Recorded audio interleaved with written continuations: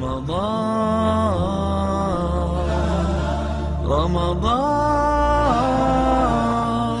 Welcome home رمضان أهلا رمضان السلام عليكم ورحمة الله وبركاته إن الحمد لله والصلاة والسلام على رسول الله وعلى آله وصحبه ومن والاه সম্মানিত দর্শক শ্রোতা বা ইয় বোনেরা, চোদ্দোশত চল্লিশ হিজরি সনের পবিত্র শাহরে রমাদানে আপনাদের সবাইকে আন্তরিক শুভেচ্ছা জানিয়ে আমরা পবিত্র শাহরে রমাদান কেন্দ্রিক আমাদের বাংলাদেশের মুসলিম ভাই বোনদের বহুল প্রচলিত বৃষ্টি ভুল নিয়ে আমরা ধারাবাহিক আলোচনা করছি।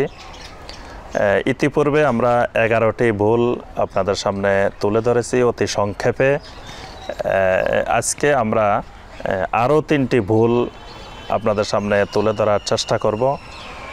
এবং যে ভুলগুলো আমি তুলে ধরার চেষ্টা করছি, এই ভুলগুলো পৃথিবীর সমস্ত ওলামায় কেরামদের নিকট এই ভুল এগুলো হানাফি মাঝহাবের ওলামাদের নিকটেও ভুল সাফি মাঝহাবের ওলামাদের নিকটেও ভুল, মালিকি, হাম্বলি মাঝহাবের ওলামাদের নিকটেও ভুল এবং ওলামাই মাদিনা ওলামাই মাক্কা ওনাদের কাছেও এই বিষয়গুলো ভুল হিসাবে পরিগণিত। বারো নম্বর ভুল আমরা যেটি আলোচনা করব সেটি হলো আমাদের দেশে মসজিদগুলোতে সুরা তারাবি হোক আর খতম তারাবি হোক বাংলাদেশে দুই ধরনের তারাবি হয়। এক ধরনের তারাবিকে বলা হয় খতম তারাবি, এক ধরনের সুরা তারাবি। অথচ ইসলামে এরকম সুরা তারাবি, খতম তারাবি বলতে কিছু নেই।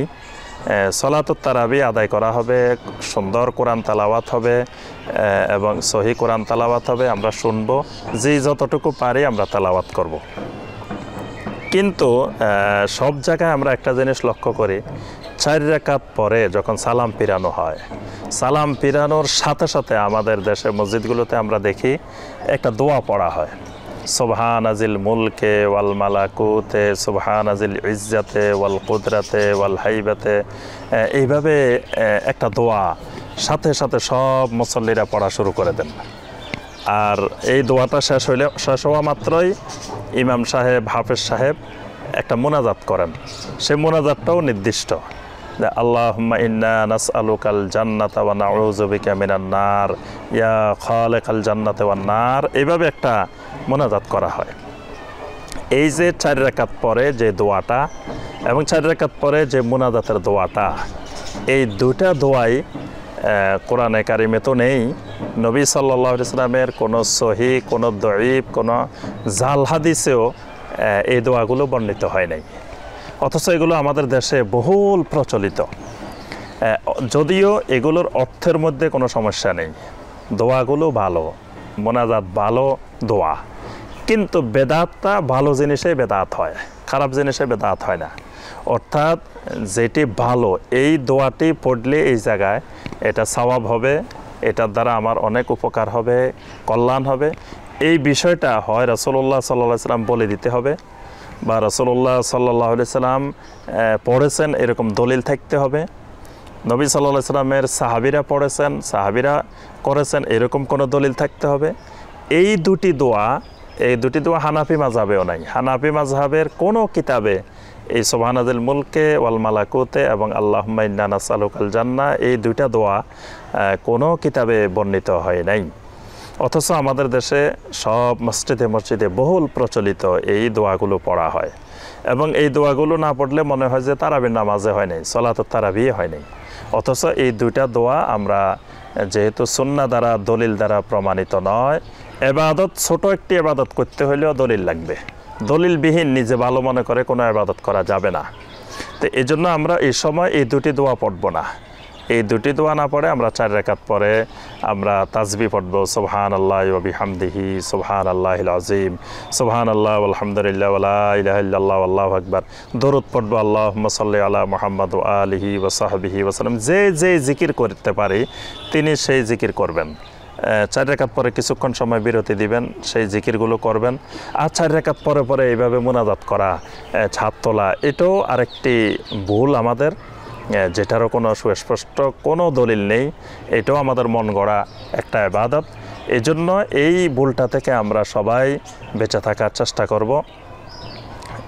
এরপরে আমরা যে ভুলটি আলোচনা করব, আমরা ১৩ নম্বরে যে ভুলটি আলোচনা করব, সেটি হলো যে আমরা দেখা যায় যে সাতাশ তারিখ যখন আসে, তখন আমরা কোরআনে কারিম খতম করাকে আমরা বাধ্যতামূলক করে নিই।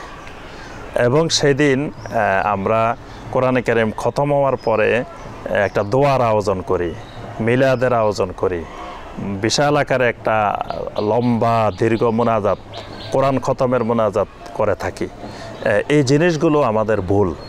যে কোরআনে কারিম আমরা সলাতে তালাওয়াত করব আমরা এই কোরআনে কারিম তালাওয়াত শেষ হইলে কোনো সুনির্দিষ্ট, বিশেষ কোনো দোয়া, মোনাজাত নেই। আর সাতাশ তারিখে শেষ করাকে বাধ্যতামূলক করে নেওয়া, এটাও আরেকটা ভুল। যে আমরা দেখি মক্কাতে, মসজিদে হারামে, মসজিদে নবমীতে তারা সাতাশ তারিখে শেষ করেন না। তারা উনত্রিশ তারিখ, তিরিশ তারিখ পর্যন্ত তেলাওয়াত করে যান, যতটুকু তেলাওয়াত করতে পারেন। খতম না হইলেও অসুবিধা নাই। উনত্রিশেরও মাদান হলে তারা উনত্রিশ পাড়ায় তেলাওয়াত করেন। যদি তিরিশ দিন হয়, তিরিশ পারা তালাবাত করেন, কিন্তু এটাকে কোনো দিন খতম করে নিতে হবে, এত তারিখে এরকম বাধ্যতামূলক করে নেন না। কারণ ইসলাম যেটা আমার উপরে বাধ্যতামূলক করে নাই, সেটাকে বাধ্যতামূলক করা, এটি গুনাহের কাজ, এটি বেদাহাতের কাজ। এই জন্য আমার সম্মানিত ভাই বোনেরা, আমরা সাতাশ তারিখের বিশেষ দোয়া, সাতাশ তারিখের বিশেষ মোনাজাত, এসব উদ্দেশ্যে আমরা সাতাশ তারিখে মসজিদে যাওয়া, এটা আমাদের ভুল। দেখা যায় ওই মুসল্লি ভাইয়েরা যারা সাতাশ তারিখে দোয়ার জন্য গেছেন, মোনাজাতের জন্য গেছেন, আজকে কোরআন খতম হবে এই উপলক্ষে গিয়েছেন, পরের দিন আর মসজিদে পাওয়া যায় না, একদিনে পাওয়া গিয়েছে। ইসলাম এই জাতীয় একদিনের আনুষ্ঠানিকতা এরকম আনুষ্ঠানিকতা ইসলাম বিশ্বাসী না। এজন্য এই সকল ভুল থেকে, বেদাত থেকে আমরা দূরে থাকার চেষ্টা করব।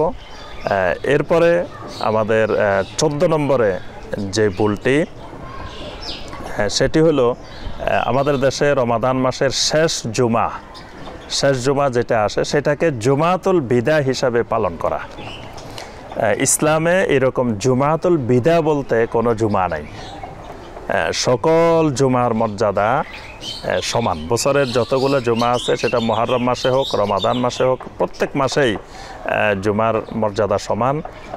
রমাদান মাসের শেষ জুমা হইলে সেটা জুমাতুল বিদা। এরকম কোনো সুস্পষ্ট সহি দলিল নেই। এই ব্যাপারে একটা জাল হাদিস আছে। জুমাতুল বেদার উপরে। শাইখ বিন বাজ রাহেমাউল্লাহ বলছেন, এটা সমস্ত মহাদ্দেসিন কেরামের ঐক্যমতে এটা হলো দাইফা বাতলা। এটা একেবারে সবার সম্মতিক্রমে এটা বাতিল। অর্থাৎ এটা জাল হাদিস। এটা কেউ গ্রহণ করেন নাই, সুতরাং জুমাতুল বিদা নামে কোনো জুমা ইসলামে নাই। আমরা রমজান মাস আসলে অনেকে অপেক্ষা করি যে আজকে জুমাতুল বেদা সবার আগে মসজিদে চলে যাই এবং এই দিন একটা লম্বা মোনাজাত করি, জুমাতুল বেদার মোনাজাত। এই জুমাটাকে আমরা আলাদা দৃষ্টিতে দেখি। এই যে ইসলাম যেটাকে আলাদা দৃষ্টিতে দেখে নাই, আমি আপনি এটাকে আলাদা দৃষ্টিতে দেখা, এটা একটা বেদাত। এজন্য আমার সম্মানিত ভাই বোনেরা এই ভুলটা থেকে আমরা দূরে থাকার চেষ্টা করব। আল্লাহ সুবান আমাদেরকে শাহর রমাদান কেন্দ্রিক সকল ভুলগুলা থেকে বেঁচে থাকার তৌফিক দান করুন। শাহর রমাদানের রহমত, বরকত মাকফেরাত এগুলো আমাদেরকে আল্লাপাক হাসিল করার তৌফিক দান করুক। আল্লাপাক আমাদেরকে জাহান্নাম থেকে মুক্তি পাওয়ার তৌফিক দিন। আমিন ইয়া আলমিন। আসসালামু আলাইকুম।